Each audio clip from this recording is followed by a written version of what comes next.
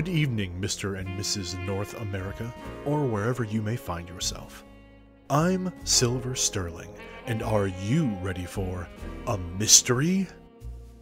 Hexaco Motor Oils presents the Hexaco Mystery Radio Hour, sponsored by Hexaco. Tonight, we bring you tales from the gritty streets of Chicago with Gunn for Hire.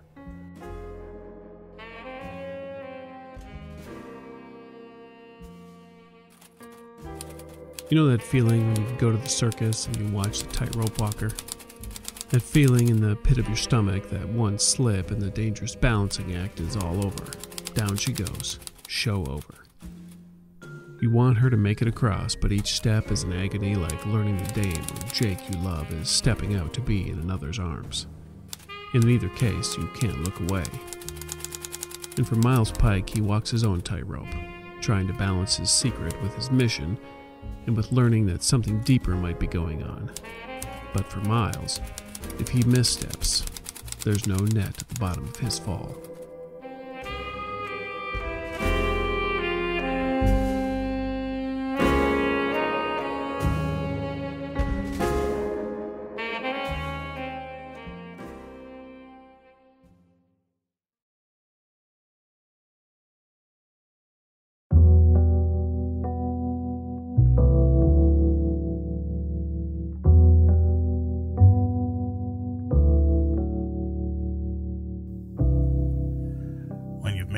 Deals as my family has to keep from wearing the latest in bucket and concrete wingtips, or becoming the butter some hitman wants to slot his hot knife through, you get pretty good at it.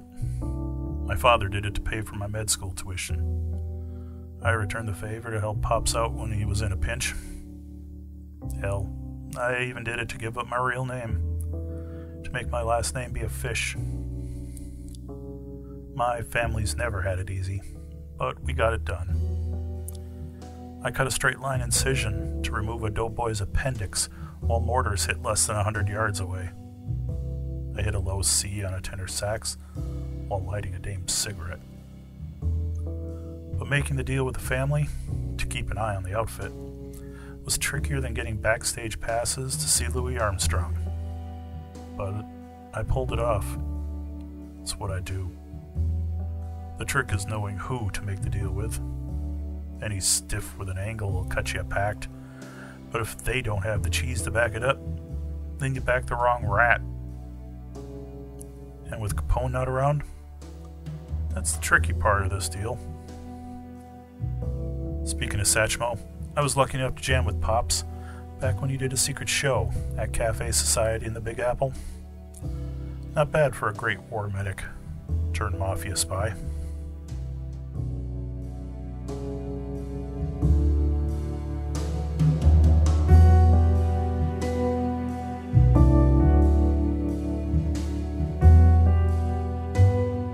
Miles, so you took the body back last night.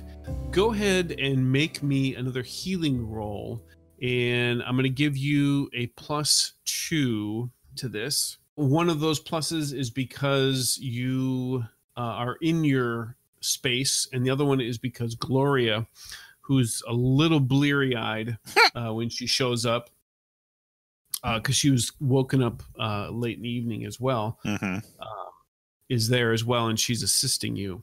Okay. And so you get the body there and you're examining everything.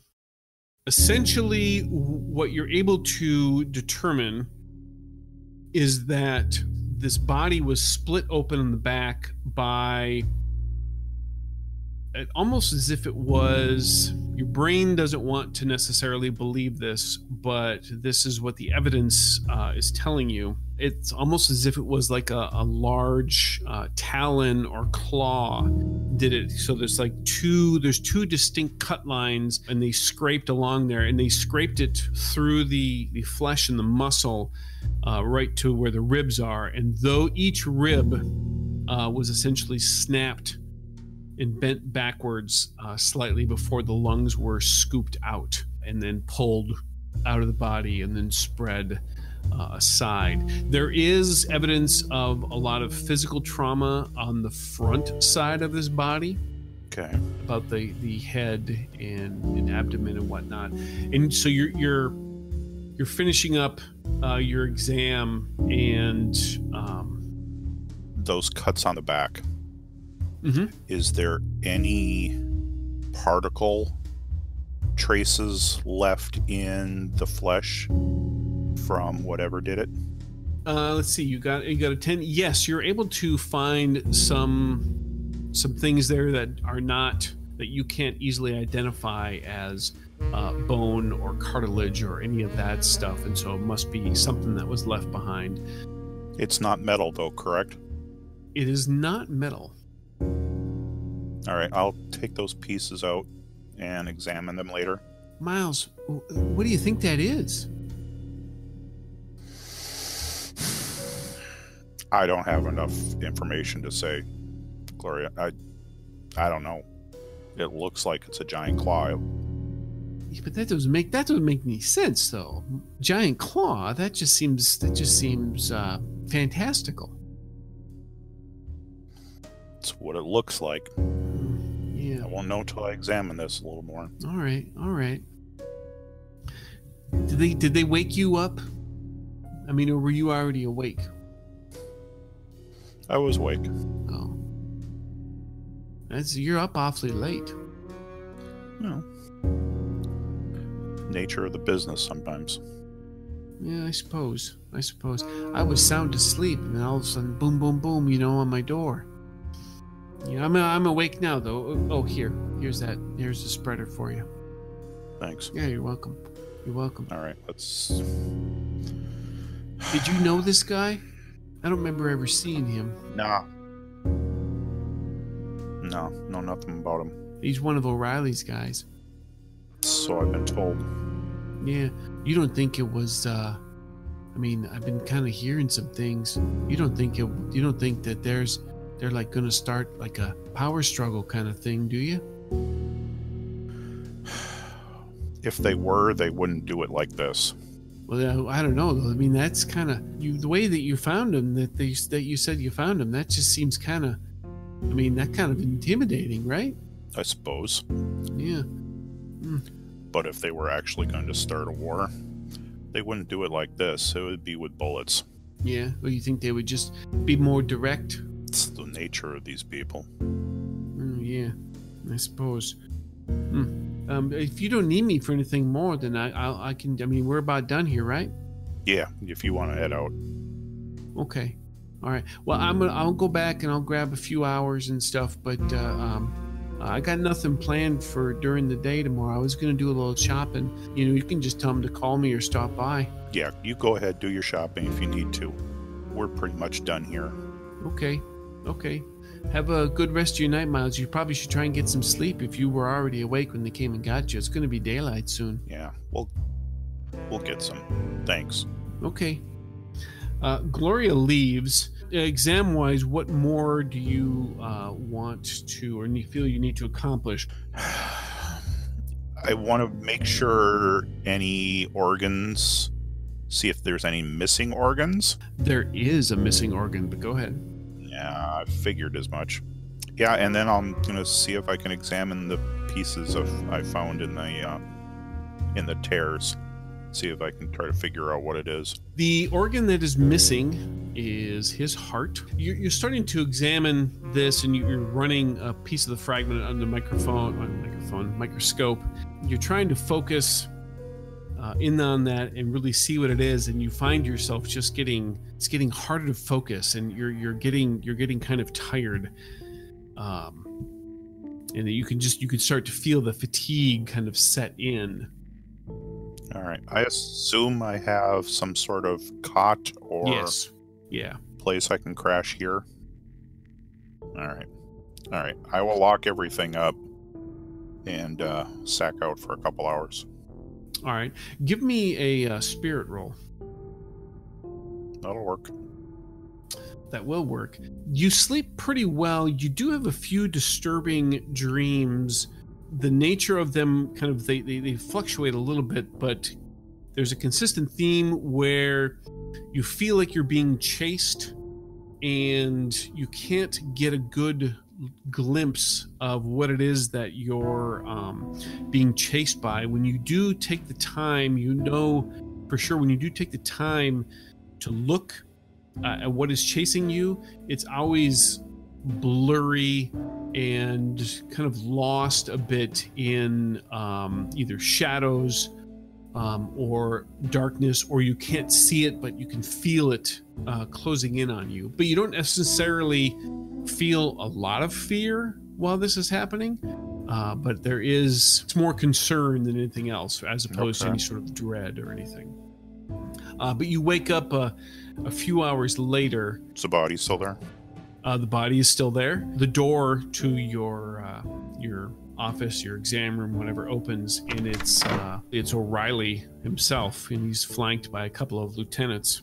Goodness. Comes walking up to you. Good morning, sir. How are we this morning? We're tired, but I might have some answers for you. Oh, it's uh, it's good to hear. I appreciate you uh, getting up, uh, taking a look at this for me. It's very kind of you to do that. I uh, was told that uh, you were a bit uh, preoccupied, but I appreciate it nonetheless. Family comes first. Family comes first. Yes, that's good. It's it's sad. It's sad what happened to him, huh? Yeah. What can you uh, What can you tell me? It's gonna sound odd, sir, but there wasn't anything natural about how he died. This wasn't by weapon. I don't even think it was done by human. This is animal. Hmm. Maybe large cat. Animal. But I mean, he kind of points to me. He says, "I mean, those tears in his skin. Yeah, that's a big animal. That's like a that's like a bear. There's no bears here in Chicago. That's no. I mean, there's they got the, they got the bears at the zoo, but one other thing, like a mountain lion. I don't know yet. I haven't been able to examine the pieces I pulled out of the tear. His heart's missing. I'm sorry, what? Whatever tore him open took his heart. He just like like took his heart and that was it. Like ate it? I don't know what it did with it, but the heart's no longer there. And this is more information that you got, Miles. Whether or not you want to convey it is up to you. But you noticed from your exam that the heart was relatively neatly removed. It wasn't pulled out, it was sliced out. It was from behind, like the lungs were taken out, and then whatever went in there, and then removed the heart. So, but okay, so you don't know, but but it took the heart and, and maybe ate it or something. I have no idea. Like I said, the heart's gone. That's all I know. He uh, he gives a, a slideways glance to both of his lieutenants. All right. All right. This wasn't done by a human. So I don't think this is Okay, so hold on, hold on. Hold on here, Doc. He holds up his hand. You're telling me okay, not done by a human meaning like done by like an animal of some sort. Some sort of some sort of big cat, like you said. It's what it looks like. All right. Okay. All right. All right. But why it would go through the back, pull the lungs out, and then go for the heart, I can't answer that. Right. All right. What do you what do you what do you need from me to help you answer that question? Do you need anything from me to help you answer that question, or is this a question that we're just not going to know the answer to? I just need time. I'm going to need time to examine the fragments I got. All right. Well, you got your time. You got your time. That's fine. That's fine. Have you told any? Hey, what about your nurse lady? Where is she? What's going on with her? Is she here? Gloria. She went to sack out. Okay. Okay. So she she's, knows. She's cool. Yeah. All right. She's. Can we trust her? Yeah. She's good. She's good. Okay. Miles. Yeah. Can I trust you? You can always trust me. You know that let me tell you something, Miles, and I'm not. I, this is no disrespect for you. And he he begins kind of pacing around the room. He says, "We got to, there's some things going on here that um, you know, some people aren't necessarily always privy to. You know what I mean?" I know what you mean. Okay. Okay, well, so ever since Al, you know, went off to prison, I mean, he's still kind of running things. He's sending messages back and forth, and that's fine. But sometimes, you know, he pauses for a bit and he's walking around, he's rubbing his chin. He says, Miles, look, um, you know, you've heard the phrase, cats away, the mice will play. You've heard that phrase, yeah? I've heard it. Okay, all right. And you kind of know what that means, right? I do. Okay. What I'm talking about here is is that um, you know, the cat is away right now and and we want to make sure that a lot of mice don't start playing around. You know what I mean? Miles, do you know what I mean? I don't know what you mean. Okay. All right. That you know what? I kind of like that answer. You kind of just do your job, don't you, Miles? You kind of just do the things that you do right back here, right? I do what I'm asked to by the family. And that's all I do. And Miles, you know what? That's all we ask you to do. We set you up here with this nice setup that you got. We feed you. We give you some money when you need it for your things. We we don't mind about your your habits that you have, you know? We like your music, you know? Okay? All right.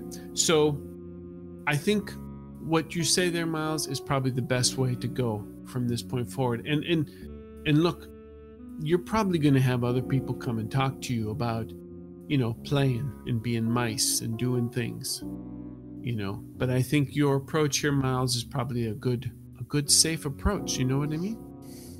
I appreciate that, sir. Yeah, well, you're very welcome. And let me tell you something. I'm gonna handle this, and he points over to points over to him. He was one of my guys. I'm gonna take care of this. If anybody from any of the other guys comes around, if anybody of O'Banion's guys comes around, or if anybody of from Degrassi's guys comes around and asks you, you know, what was all this stuff that you had to do from one of O'Reilly's guys, I know nothing. you know what? Yeah, yeah, this is this is me and you handling this here, right? You got it, boss. Okay. All right, that's good. I'm glad that we have this understanding. Um now, I know I said that you got all the time you need, but I- I want to I want to do right by, you know, I want to do right by him and his family, so we're going to have to, you know, in about a day or so, okay? I'll give you what I can. All right. And then we got to take take the uh take the body. Understood. Okay. All right. Good. We cool? Oh. Oh. Miles, we're we're very cool. This is a good talk you and I have had. I appreciate that, sir. Mm. I appreciate that as well. He reaches into his his uh his breast pocket, and Pulls out a gun and shoots me. pulls out a gun, shoots you in the face. There we go. and Game over. There we go. Good night, guys. Well done. You, I'll give you one more Benny, even though it won't matter because you're dead. But hey, he uh, pulls out pulls out a pocket watch, and he looks at it. It's got a nice little silver chain, and he hands you this pocket watch, and he says, "This this pocket watch here." I think that you and I have made a connection in regards to this whole situation. To show my appreciation, I want to give this to you, Miles. And he hands you this pocket watch, this cherished gift. And he says, um, My uncle gave this to me um, after uh, I handled something for him back in Ireland, you know. I took care of some things for him there. He gave this to me as a sign of his trust and belief in me and a way to say thank you. And I want you to have this, and I want you to have all the responsibilities and everything that go along with having this. Understood. I thank you. That's very generous of you. Yeah, yeah, yeah, it is. And I'm glad that you recognize that. That's good. That's good. Okay, look, you got your day. We'll come and take care of it. There we go. Done. Done. You take care of yourself, Miles. You too, sir. Thank you. Let's go, man. And they turn around and they leave.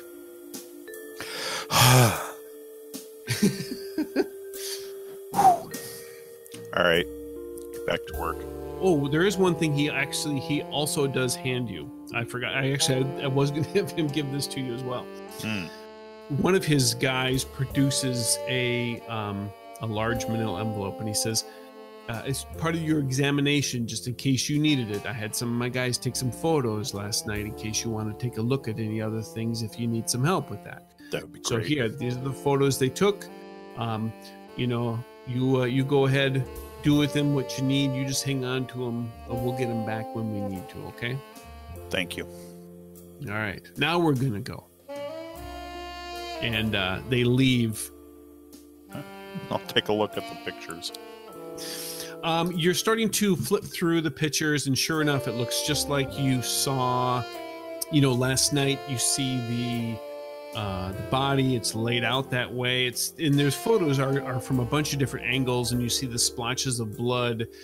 As you're looking through them, there's a knock on your other door, essentially the the business end of the uh, of the door. And well, let me ask you: uh, Do Irving and Miles, do you guys have a coded knock that you guys use since you are war buddies and whatnot? I haven't come up with one. Let's say we do. Sure. Let's say we do. I don't see why not. There you go. Yeah, I mean, I'm assuming I'm assuming that that Irving has a general idea of who Miles works for, um, in the sense being a back alley surgeon, that kind of thing. Uh, I, I think with uh, Irving's connections, he would know if Miles hasn't told him directly. Okay. All right. So yeah, so a coded knock essentially makes sense in this in this regard. So uh, so yes, so the the Irving coded knock hits the uh, hits the door. All right. Um, I will put the pictures away, and uh, I'm going to make an assumption here, Chris, that the examination area where the body is separate from the office area. Um, you can there well it's separated by we'll put it uh, separated by a curtain, so it's it's it's an open space, but you can pull a curtain right. around that. Yeah, way. let's do that. And I'll throw a sheet over the body too, cool. and then All right. go open the door. Miles, how are you this fine morning? Irving, what up? You look a little tired. I'm exhausted. Really? Been up all night. You've been up part. all night. Well, that answers one of the questions I had. Uh oh. And what questions are those? Yeah, Irving kind of looks back. Can can I come in? Yeah. Come on in. Okay. Were you doing some secret work? Yeah, you could say that. Okay. I I won't ask any questions. I'll be. I'll, Appreciate it. Yeah. So you you slept okay last night? No. No, no, you don't know what you didn't sleep at all. You said. Sorry, I uh, Well, I cut a few hours here. But you uh, you didn't hear anything about anyone else just kind of sleeping too much, did you? Nope. No, no. So do you know? Uh, so I had a. mm, It's kind of weird. No, Okay. I. But uh, I didn't. I don't remember anything a lot of last night. what was her name? That I was I was developing photographs last night. Okay. Sure. Is that what the, they call it these days? Ha ha ha. You got Hmm. me. No, no, no. What did you find? What photographs? Well, you know, I you remember I talked about that uh the back alley the alley killer, yeah. and I got I think I got some photos of. I was developing those last night, Ah. and uh they're interesting. I haven't gotten into uh the uh, other set I've got. Did you? Let me ask you, Irving. When you went, um, when you got up this morning, did you go into back into the dark room? No, I made a spirit roll earlier, and uh, Irving was so unnerved that he immediately head to Miles' office because he doesn't just drop out like that. Gotcha. Gotcha. Okay. So so I uh I was developing them and I walked out of my of my uh, dark room and then it was like I blinked and I was waking up and it was almost 12 hours later. I was in bed. Too many chemicals? Now I, I wasn't I wasn't drinking or anything. I don't have the money for that. No, from your developer. Your developer chemicals. Think they might have done something? The fumes from those things. You you think it would have happened before now? I mean, it's not like I was doing anything different from what I normally do. Strictly medically speaking, your body could have finally reached its tolerance. You've been sucking this stuff down for a while, Irving. All right, all right, all right. The, the the other thing is you haven't had it. What? You think there's something else? I saw some things, okay? And now you're gonna just gonna say, "Oh, they're hallucinations from the chemicals." Yes, I can hear that already. Well, no, no. Believe me, after last night, I don't take anything for granted. What did you see? Well, see, so I took pictures of this uh this this alley killer, and Okay. they're they're blurry, you know, because you know it doesn't have handle movement very well, and he was constantly moving. Yeah, And yeah. I and when I first looked, you know, he's, he's kind of it looks like he's moving on on all fours. That's weird, right? It's kind of weird. And I was like, well, you Go know, on. maybe maybe I just got him at the wrong time and he slipped or something. It can happen. It was it was snow. It's snowing, and uh, then I, I swear one of the pictures has fangs. It's the clearest part of the picture. Makes no sense. But that's not what got me. You'd be surprised. I, I left. I, I, I stepped out for a little bit because you know I had to refill my water. I got everything. I go back in, and I swear one of the photos had glowing eyes. So it, it it freaked me out a little. So I you know I kind of I kind of I, I, I, I may I may have fell. I, I, I it, you know it's kind of kind of cramped in there, and uh, so I, I and I, then that's about the time you know I, I hung I put the photo back and I just like I just need a breath of fresh air. That's it. And I stepped out and then it was morning. Can I uh, trust you? You saved my life. I trust you. You can trust me. I mean, really trust. Nothing goes beyond this room unless we decide it goes beyond this room. All right, I gave you my promise. Come like, come look at this. I'll take Irving behind the curtain. Do I need to make a? Well, wait. Oh yeah, there's a sheet covering it. Yeah, just wait, because there's a sheet covering.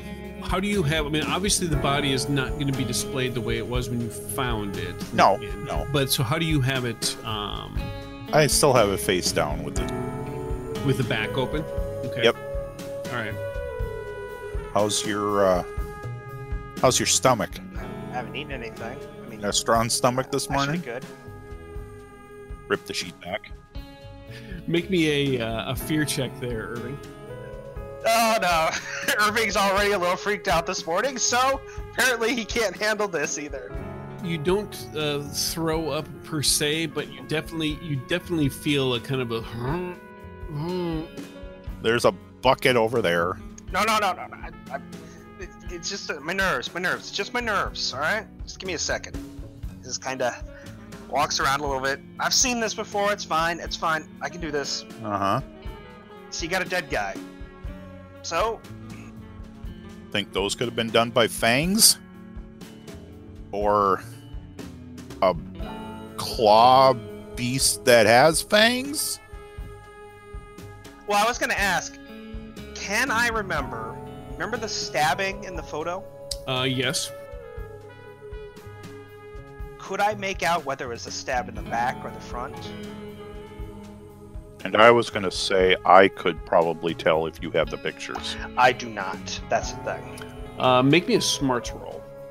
What a five. It appears that it was a stab in the back. All right, I'm giving you a little scoop here. So, when I was developing my photos la- uh, last night, I also noticed that there was a stabbing in one of the windows of the photos. What luck, right?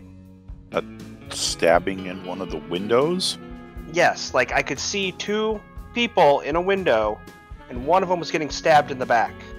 Okay. By what? I, I don't know. It was in a window. It was kind of shady. I couldn't really tell. This was over in the area of, and I'm going to give them the location I was in when I, uh, um, when I found the alley killer and took the photos and all that. And is is that anywhere near where you found him? It's in the neighborhood. Ish. Yeah, it's plausible that. I mean, there's still a whole lot of unanswered things here, but it certainly is plausible that whatever. That something, a body could probably have been taken to some a location like that. You don't think this was the alley cat killer, do you?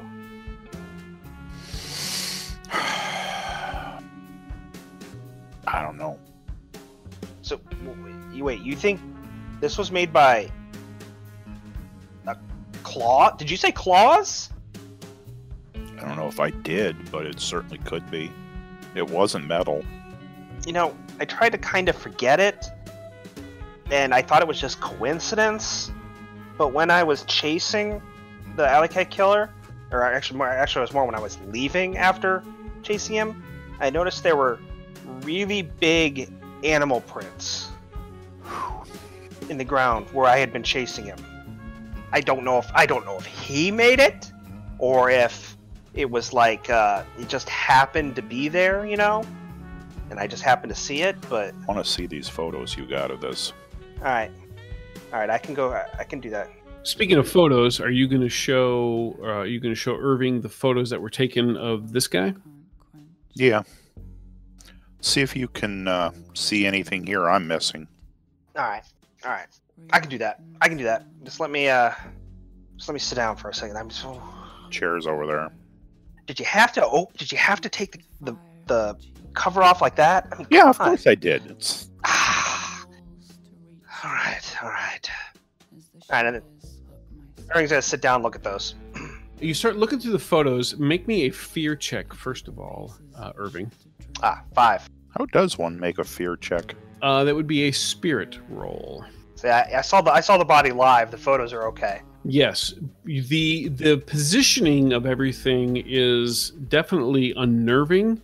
The fact that you're seeing it through this artificialness of sorts uh, with the um, with photos, it kind of takes away uh, takes the edge off a little bit. So it's it's disturbing, but it doesn't it doesn't cause you any any jitters. Um, now make me a notice check Four. as you examine and you're looking you know you're doing your, you're using your photographer's eye and you're kind of going you know looking at the photos a little closer here and at one point you're like hey hey hand me that uh, hand me that uh, magnifying glass and you start looking closer and you begin to notice that the splotches of blood and it's a little bit tough to make out in some of these uh, photos because they're not necessarily the focal point of the the image that's taken you're beginning to think these aren't necessarily blood splotches. They're blood, and, and, and Miles certainly confirms that they're blood, but it appears that they are symbols of sorts and not blood splotches. I don't know how many uh, crime scenes you've actually been to, Miles, Not a lot of crime scenes, no. but uh, blood doesn't just blood just doesn't splatter and look like this. This is this is not natural. What do you mean it's not natural? It looks like they're shaped, like purposefully, you know, like dripped or smeared or whatever. I can't really tell with the photo. How the hell am I supposed to explain this?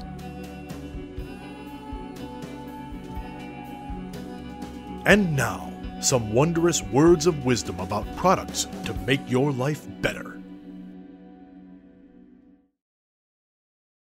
Roca Cola.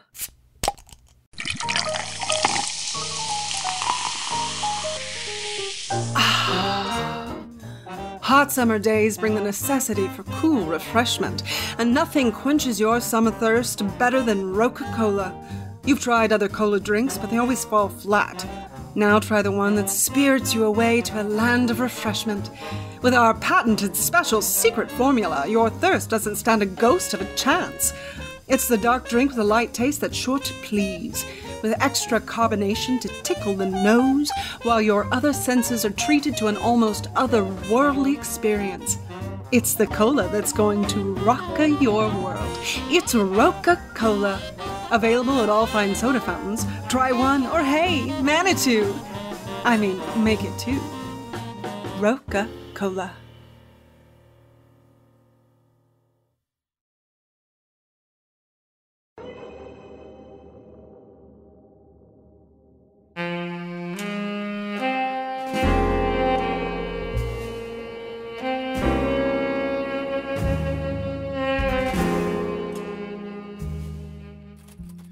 Well, there's some things you should tell your boss and some things you probably shouldn't. And now that Miles got off that tightrope, looks like it's time to step out on another. Alright, that's enough for now. So shake a leg till next time.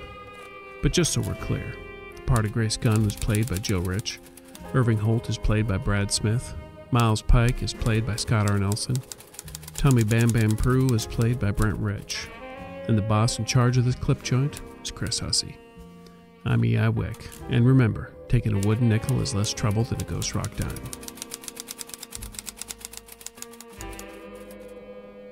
Thank you for joining us for this episode of the Hexaco Mystery Radio Hour.